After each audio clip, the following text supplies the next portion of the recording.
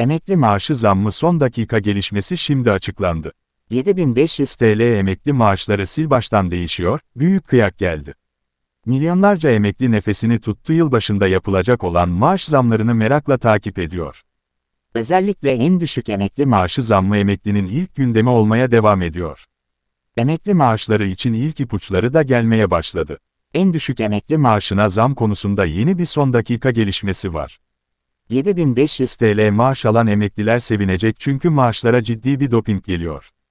En düşük emekli maaşına yeni zam. Temmuz ayında yapılan maaş zamları milyonlarca emekli vatandaşı büyük bir hayal kırıklığına uğrattın. Haktan emekliler beklentilerinin çok altında zam oranları aldı ve uzun süreden beri de hükümetten ek zam talepleri bulunuyordu. Ancak emeklinin beklediği o ek zam bir türlü gelmedi. 5000 TL'lik Cumhuriyet ikramiyesi de emekliler için yeterli olmadı. Çünkü emekli vatandaşlar ciddi bir mağduriyet yaşıyor. Şimdi gözler Ocak ayına çevrildi ve yapılacak olan ek düzenlemeler büyük bir heyecanla takip ediliyor. En düşük emekli maaşı ile ilgili de yeni haberler var. Gelen son dakika haberine göre Ocak 2024 itibarıyla en düşük emekli maaşı 5 haneye çıkacak. Uzmanların en düşük emekli maaşı konusunda farklı tahminleri bulunuyor. En düşük emekli maaşı 10,000 ila 12,000 arasında olabilir. En düşük emekli maaşı zam oranları üzerinden yapılan hesaplamalara göre yeni maaşlar 10.000 TL ile 12.000 TL arasında değişecek. Bu konuda uzmanlara en yakın gelen rakam ise 11.000 TL oldu.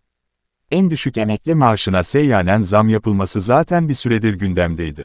Yapılacak olan seyyanen zam düzenlemesi ile birlikte 4000 TL'lik artışın ardından en düşük emekli maaşının 11.000 TL olacağı konuşuluyor. Emekli zam oranları ne zaman belli olacak? Milyonlarca emekli nefesini tuttu Ocak ayını bekliyor, 6 aylık zam oranları ise 4 Ocak 2024 tarihinde yani Türkiye İstatistik Kurumu tarafından yapılacak açıklamanın ardından belli olacak. Seyyanen zam oranlarının da aynı gün içinde Cumhurbaşkanı Recep Tayyip Erdoğan tarafından duyurulacağı tahmin ediliyor.